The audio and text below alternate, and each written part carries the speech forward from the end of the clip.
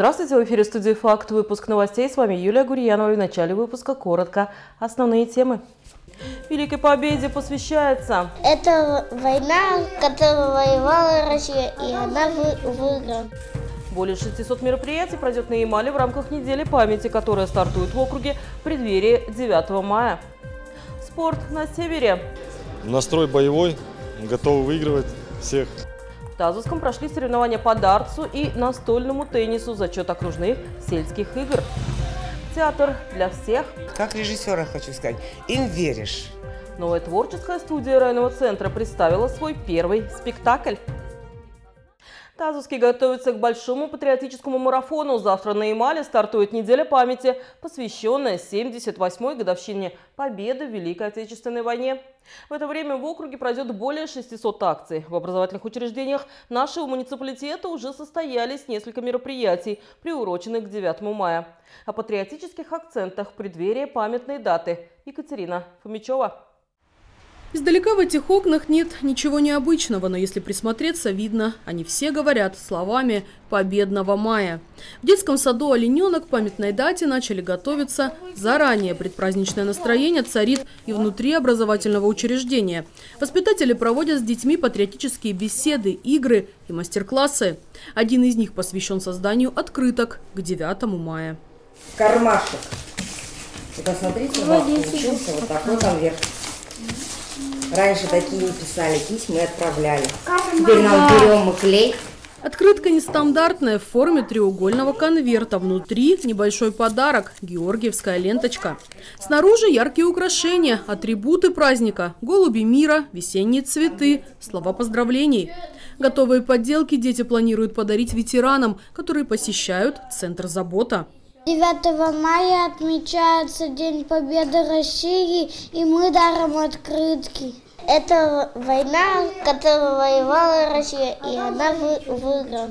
Для, для нее это, это очень важно, чтобы все из-за этого были дружными и не нравились больше. Россия крутая, самая лучшая Россия в свете, ее много людей хороших. В патриотической неделе приняли участие и воспитатели. Они собрали 20 коробок со сладостями и 15 мешочков с необходимыми мелочами – спичками, булавками, бинтами и пластырями. В ближайшее время педагоги передадут посылки добра в муниципальный штаб «Мы вместе». Вот обратите внимание, у нас земляки-герои. Это вот шесть человек, которые ушли с Тазовского района, и вот живыми они сюда вернулись после войны. А это уже музей Тазовской школы-интерната. Здесь подготовлена тематическая выставка ко Дню Победы. За стеклом миниатюры боевых самолетов и танков, настоящие гильзы с полей сражений, которые привозили учащиеся с раскопок, документы и фотографии солдат. Ознакомительные экскурсии уже стартовали и продолжатся на следующей неделе. У нас уже сегодня с утра было две экскурсии, пришли вторые и третьи классы, ну, то есть они вообще в восторге были. Один даже мальчик сегодня узнал, что вот у него дедушка, а, даже прадедушка участник трудового фронта, он об этом не знал. В это же время юные активисты украшают школу, вырезают символические картинки и создают композиции на окнах. У нас появляется очень много радостных эмоций, и нам очень нравится украшать кабинеты. У нас мы объединяемся благодаря этому и становимся более дружнее. Большой патриотический марафон в Тазовском стартовал в преддверии окружной недели памяти. Она пройдет с 6 по 14 мая. В нашем муниципалитете на это время запланированы десятки тематических акций, конкурсов и мероприятий. Екатерина Фомичева, Денис Михайлов, студия «Факт». Губкинские школьники изготовили значки ко Дню Победы для георгиевских лент с помощью высокотехнологичного оборудования. Работают ученики на станках с числовым программным управлением, основа значков фанера, декорированная гравировкой с праздничной символикой. Уже изготовлено 30 штук, еще 50 ждут своей очереди. Это очень важно, потому что сколько они сделали для нас, освободили весь мир – от фашистских захватчиков. А, данные значки изготавливаются на станках ЧПУ а, а, с применением фанеры, с применением георгиевской ленты. И э, это э, процесс э, очень такой трудоемкий, потому что дети используют новые технологии, применяют программирование, то есть дети сами программируют, находят какие-то силуэты да, значков. Ну, на примере вот я вам показываю, вот такой вот они выбрали значок и воплотили в жизнь. Благодаря национальному проекту образования губкинские школы оснащены высокотехнологичным оборудованием, которое дает возможность школьникам изучать основы 3D-моделирования, 3D-печати, робототехники, получить навыки работы на швейных, вышивальных машинках и станках с ЧПУ. В школах города установлено 16 ЧПУ станков, по 9 лазерных станков и 3D-принтеров. Занятия на таком оборудовании позволяют познакомить юных северян с различными видами технического творчества, обучают полезным навыкам и помогают с выбором направления будущей профессии. Чтобы сделать самим, мы заходим в программу Coral Draw и создаем там файлы либо символы. А после этого мы заходим в программу RD Vortex и помещаем туда эти самые файлы. А после этого у нас включается лазерный станок, и там напечатываются эти файлы. Для того, чтобы это произошло, мы должны начать э, нажать на кнопку «Старт», и тогда у нас э, он будет работать уже сам. В Губкинском третий год подряд реализуется проект «Будильник». Школьники своими руками изготавливают вещи, активно используют для этого современное оборудование. Для воспитанников детских садов учащиеся делают развивающие игрушки и конструкторы, для военнослужащих – медальоны, талисманы и шевроны, для городских мероприятий – значки, презентационные и раздаточные материалы с различной символикой. На арктические линии выходят беспилотные КАМАЗы. Умные автомобили доставляют грузы с большой земли на восточно-Мисоярское месторождение. Продолжение темы. Далее. То, что еще вчера казалось фантастикой, сегодня уже реальность. На автозимник, связывающий самое северное материковое месторождение нефти в стране с Тазовским, выходят беспилотные автомобили. За рулем КАМАЗа нет водителя. Благодаря инновационным решениям российских разработчиков умная машина едет сама. Управление происходит с помощью высокоточного навигационного оборудования. Также на машине установлено лидарное зрение, радарное зрение и нейронная сеть, которая позволяет э, определять объекты, также останавливать машину и управлять им беспилотно. Первое испытание крайним севером грузовики-беспилотники прошли на восточном Мисайском месторождении три года назад. Тогда они безаварийно преодолели две с половиной тысячи километров и продемонстрировали весь потенциал цифрового ресурса. Умный автомобиль не устает и не ошибается даже в условиях плохой видимости. Современное навигационное оборудование позволяет двигаться по заданной траектории с точностью до 20 сантиметров. Лидары и сонары находить объекты и рассчитывать расстояние до них, а видеокамеры составлять цифровую дорожную карту. Восточная Мисаяха – это умное месторождение. У нас э, принимаются цифровые решения при строительстве, нефтедобыче. А теперь и э, появились в транспортной сфере беспилотные КАМАЗы. Э, это прежде всего вопрос безопасности и развития логистики доставки грузов, что крайне важно в условиях Арктики. Первым в путь выдвигается автомобиль, который контролирует водитель. Далее беспилотник. В одной колонне может быть до 20 таких КАМАЗов. Скорость автомобиля сдвигает в бесплатном режиме до 40 км в час. Возможно, в будущем мы его ускорим еще. Контроль за перемещением грузовиков осуществляется из Центра управления «Газпромнефть» Связь между машинами и оператором поддерживается с помощью Wi-Fi и беспроводной высокоскоростной передачи данных. От нефтяного промысла до ближайшего населенного пункта почти 150 километров. «Газпромнефть» в 2023 году было перевезено а, порядка 50 тысяч тонн груза по автозимнику что составляет 1326 рейсов. А, в том числе а, в этом году принимали участие беспилотные КАМАЗы, которые также приняли активное участие в данном мероприятии, что можно назвать историческим событием. Уверен, что беспилотные КАМАЗы также в будущих а, периодах будут перевозить и выполнять задачи, которые будут поставлены нам для выполнения.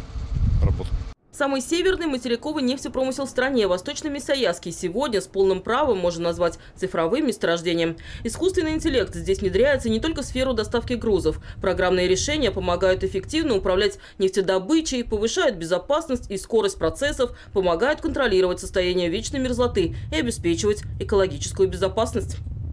Юлия Гурьянова, Денис Михайлов, студия «Факт».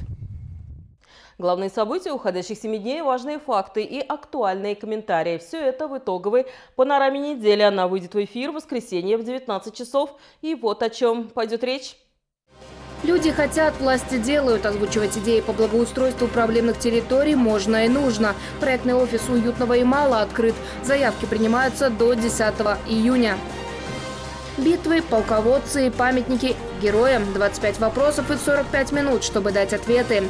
В помощь фотоподсказке северяне написали диктант победы. Знания о Великой Отечественной проверили 300 жителей Тазовского района.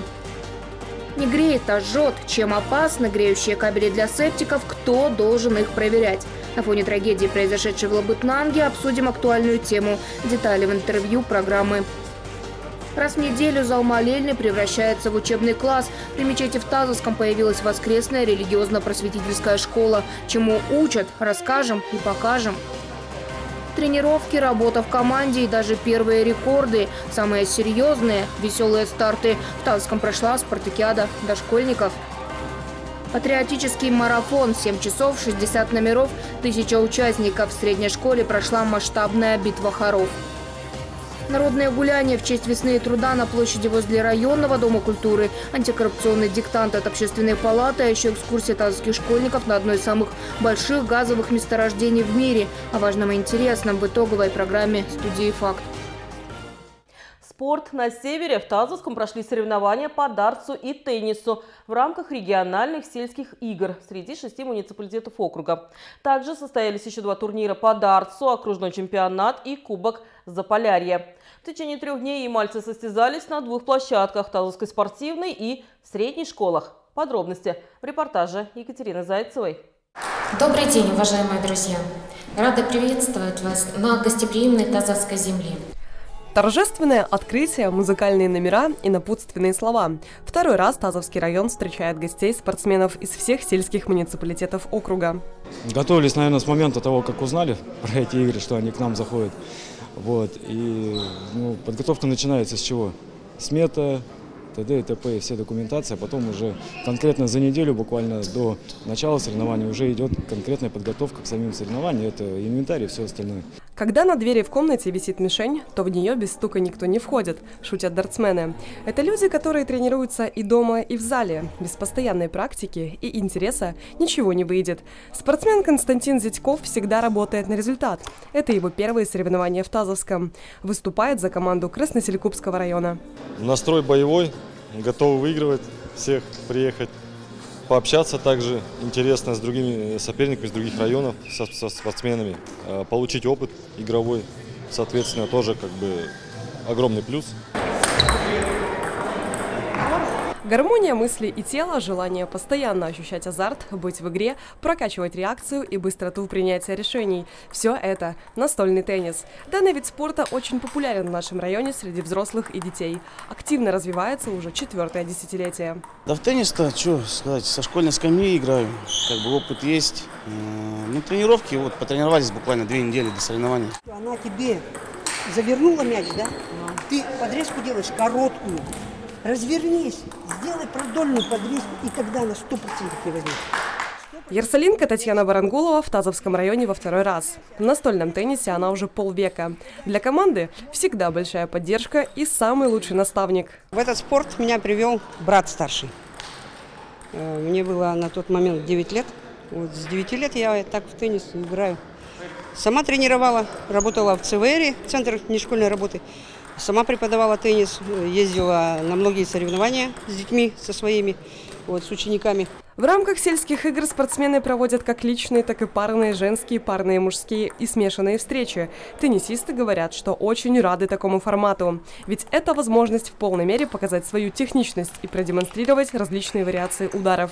Мы приехали из э, Пуровского района, а, или конкретнее село Самбург. Это соседи, 60 километров от вас.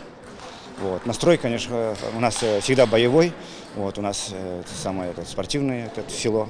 Вот. Единственное огорчение, что мы приехали не в полном составе. Ну, будем отдуваться за всех остальных. Сельские игры продолжались в течение дня. В настольном теннисе победу одержал Ямальский район. Тазовчане на втором месте. Третье у Шурышкарского района. В дарте золото у Красноселькупского района, серебро у Ямальского и бронза у Тазовского. В последующие два дня дартсмены боролись за медали в личных и парных встречах в рамках окружного чемпионата и Кубка Заполярья. Больше всего наград забрали спортсмены из нашего муниципалитета. Екатерина Зайцева, Денис Михайлов, студия «Факт». Тысяча воспитанников, шесть направлений и неограниченные возможности для творческого роста. На базе средней школы прошли отчетный концерт и интерактивная выставка Тазовского районного дома творчества. Химические опыты, туристический лабиринт, а еще очень много театра и танцев. В репортаже программы. Эта выставка создавалась целый учебный год, а будет работать всего два часа. До начала отчетного концерта и после.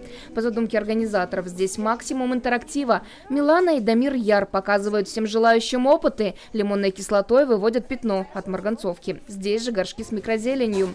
В этом естественно-научном кружке дважды в неделю занимаются 20 человек. Основные предметы – окружающий мир, биология, химия. Мы выращиваем для для кроликов капусту или зелень и, и, и, и, и три микрозелени. Вырастешь кем будешь? садовником. А ты кем будешь? Полицейским. Что нравится вот в Доме творчества? Расскажи, почему туда ходишь? Мне нравится, что там мы проводим опыты и веселимся. Районный дом творчества – это шесть основных направлений – социально-гуманитарное, естественно-научное, туристическое, краеведческое, спортивное, техническое и художественное. Последние два – самые популярные. Ну, у нас вообще, конечно, нынче очень большие амбициозные планы. А у нас а, нынче мы выиграли несколько грантов. Это по а, мини-полигон «Туристическая тропа». И в этом году мы стали обладателями а, гранта по лаборатории этнокультурного образования ТАСУЯВА. В рамках последнего гранта в Доме творчества изготовят раскраски по мотивам сказок северных народов. А вот на мини-полигон юные туристы могут взглянуть здесь и сейчас. В жизни это лабиринт из палок и сеток, виртуальной реальности, увлекательный квест. Дается ребенку карта и указываются точки, а, которые он должен найти. Точки разбросаны в хаотичном порядке. И э, ребенку нужно соблюдать строго, потому что программа, потом, когда он возвращается на финиш, а, у нас есть такая программа, которая шла к этому лабиринту, чип прикладывается контрольному пункту и считывается. Там указывается время прохождения, очередность прохождения пунктов. А вот. Если ребенок выполнил не поочередно, то он автоматически снимается, его результат не засчитывается. Да, я попала. Вот что значит гоняться за странными кроликами часами. А это уже отчетный концерт, театрализация по мотивам сказки «Алиса в стране чудес». Только ожидаемо девочка попадает в страну творчества.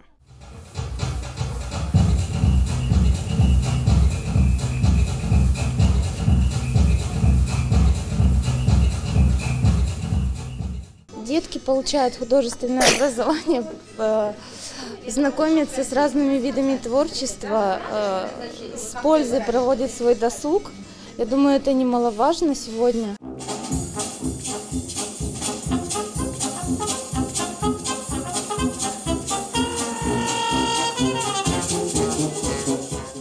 Различные объединения Дома творчества посещают около тысячи детей, в основном дошкольники и ученики Тазовской школы-интерната. Отчетный концерт – это 14 художественных номеров, танцы, вокал и эффектные дефиле. Наталья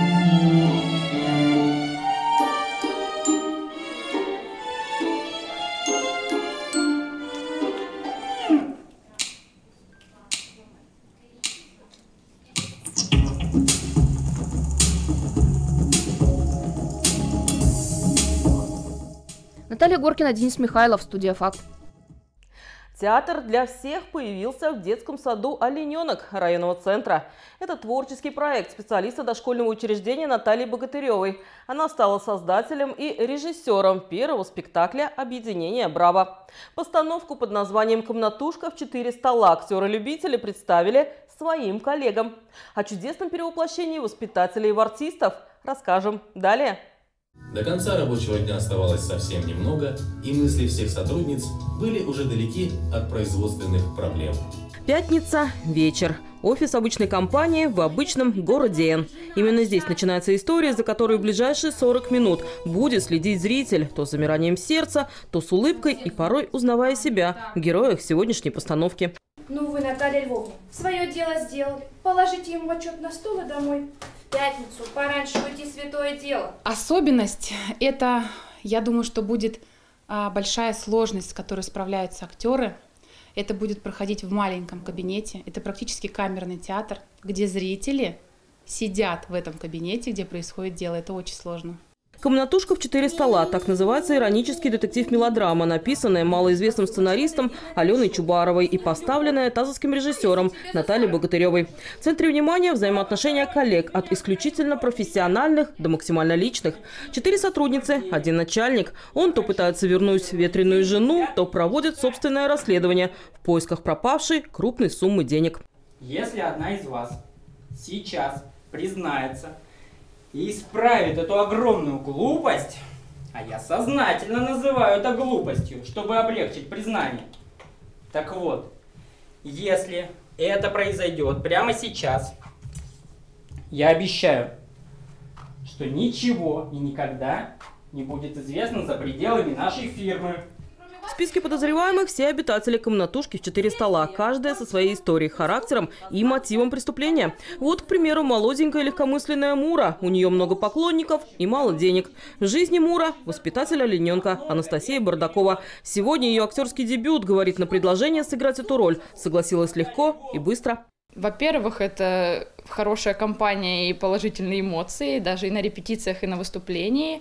И также, да, приобретение опыта, даже выступления на публике, можно так сказать. Поэтому это много плюсов имеет. Еще одна героиня – Наталья Львовна. За пределами театральных подмостков – младший воспитатель Виктория Журбенко. В детском саду работает почти 30 лет. Признается, за это время сыграла на утренниках десятки самых разных ролей. А потому сегодня почти не волнуется. Но вы же экономите на налогах, иначе фирма разорится.